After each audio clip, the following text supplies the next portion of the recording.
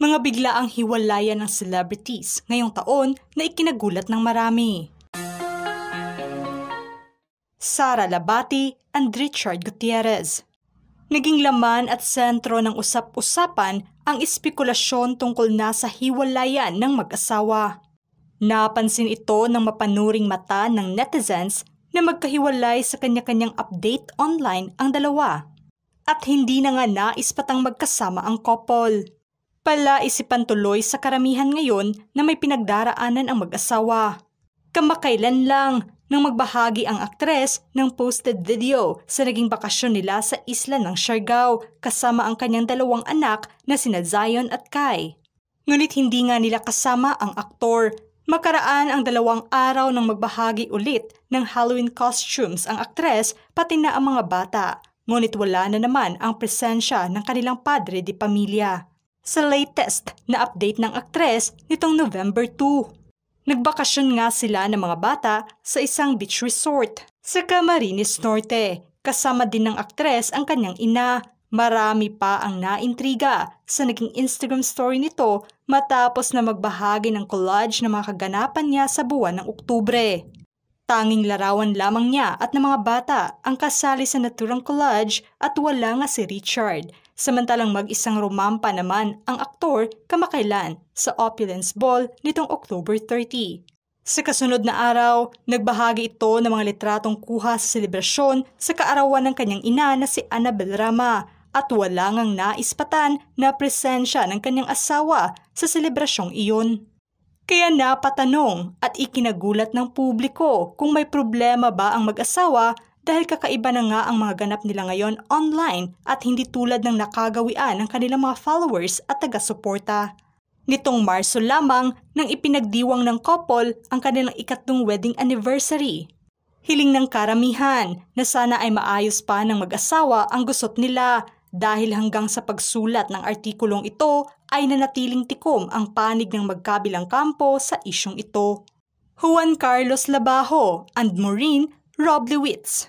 Ikinagulat nga ng karamihan ang hiwalayan ng couple na karaang taon. Marami ang nalungkot, lalo na ang kanilang mga taga-suporta. Parehong naglabas noon ng kumpirmasyon ang couple sa naging hiwalayan nila. Inilarawan pa nga noon ng singer na si Juan Carlos Labajo na ang magkaibigan na ngayon matalik na magkaibigan na lamang ang estado nilang dalawa.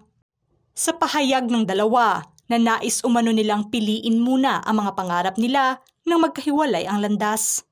Matapos ang kanilang hiwalayan, naging tahimik na nga ang balita tungkol na sa kanila. At nitong Enero lamang ay binasag na nga ng modelo ang rason ng kanilang hiwalayan. Aniya na patuloy pa rin nitong pinapasaya ang sarili matapos ang hiwalayan nila. Nilinaw din nito kung bakit pinili niyang manahimik na lamang noon sa pagkomento tungkol na sa hiwalayan nila at ibinunyag na walang panluloko na nangyari at tanging rason lamang talaga ay napagdesisyonan nilang dalawa na unahin muna ang mga sarili at pangarap nila.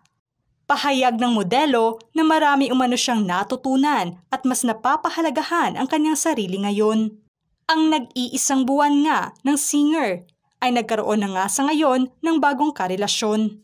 Habang ito naman ay abala sa paggawa pa ng mga kanta, direkta naman itong sinagot na maayos sila ng dating kasintahan at masaya umano siya sa karera at relasyon nito ngayon. Jake Cuenca and Kylie Versosa. Nawinda nga ang lahat matapos ang nakakabiglang balita ng hiwalayan ng couple. Inakala ng lahat na sa simbahan na ang uwi ng relasyon nila, ngunit hindi pala. Inilahad pa nga noon ng aktor na masakit ang naging hiwalayan nila ng aktres. Sa tatlong taon ng relasyon nila ay hindi umano basta-basta ang mga alaala nila. Samantala, nitong taon lamang, buwan ng Enero, binasag ng actress beauty queen ang tungkol na sa hiwalayan nila ng aktor na Ania. Nagtapos na talaga ang relasyon nila at hanggang doon na lamang. Ayaw naman daw niya na ilarawan ang hiwalayan nila na hindi nag-workout. Naging masaya na sa ngayon ang aktres samantalang ang aktor naman ay nagkakamabutihan na sila ng aktres na si Chef Filomeno taong 2019 nang kinumpirma ng ex-couple ang relasyon nila. Sa ngayon, pareho na silang masaya sa kanya-kanya nilang buhay. Janela Salvador and Marcos Patterson. Umugong ang balita tungkol na sa hiwalayan ng magpartner noong nakaraang taon. Napansin kasi ng mga taga-suporta ng couple na wala na masyadong update ang dalawa tungkol na sa relasyon nila. At kalaunan ay binasag na nga ng aktres na siya ay single mom na. Ikinabigla ito ng lahat dahil base na sa ipinapakita nilang suporta sa isa't isa ay kakaiba na siyang pinusuan nga ng karamihan, lalo na sa kanilang anak. Ilang buwan din natahimik ang dalawa sa kanilang hiwalayan. Matatanda ang naglabas pa ng pahayag ang aktor at singer na si Marcos tungkol na sa natutunan niya sa buhay relasyon na aniya. Huwag umanong makipagrelasyon sa loob ng kanilang industriya at kapwa-artista. Inamin din nito na isa sa mga rason ng hiwalayan nila ng aktres ay ang bisyo niya sa pag-inom. At nilinaw na kailanman ay hindi naman niya pinagbuhatan ng kamay ang aktres sa ngayon, mas maayos umano ang relasyon nila ng aktres sa naging co-parenting setup nila kaysa sa dati na parati umano silang nag-aaway sa iisang bubong. Jerome Ponce and Sashna Laparan Pinagpiyastahan nga ng karamihan ang naging hiwalayan ng couple. Naging mainit nga ang diskusyon ng couple at hindi naging maganda ang pag-uusap nila. Inamin pa noon ng vlogger na nanghingi umano ng space ang aktor na siyang nagtuloy-tuloy na umano. Ngunit tila naging masaya naman ito sa kanyang buhay at nagpa-party pa umano ang aktor at may mga larawan na binibigay sa kanya na nais patang may kasama itong iba. Tumagal ng dalawang taon ang relasyon ng dalawa na siyang pinusuan nga ng lahat dahil na sa mga ibinabahagi nila na update online. Naging masakit nga ang hiwalayan nila kung saan napatanong pa nga ito kung may kulang ba sa kanya at bakit nangyari iyon. At nitong Setyembre lang nang inihayag nito na kilala niya ang babaeng na uugnay ngayon sa kanyang dating kasintahan. Pinanghingan pa umano niya ang kaibigan sa naging problema nila ng aktor ngunit ito pala ang ipinalit sa kanya. Nagmistulang ang dating umano nito ay abangers sa kanya. Panalangin na lamang nito na sana ay maging masaya sila sa relasyon nila. Marami nga ang nalungkot sa naging breakup journey nito na siyang ibinabahagi niya sa kanyang mga followers online.